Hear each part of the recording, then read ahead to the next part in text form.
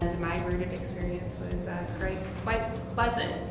Um, I joined with my husband and um, found a lot of soul searching and realizing that my story wasn't over.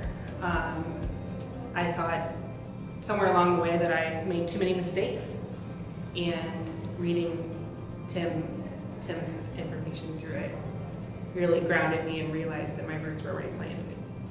Your mistakes are your stories, and um, the door's never closed. And sometimes you just need to sit back and listen and not be so fearful and let that vulnerability, out. Um, and rooted to death for me.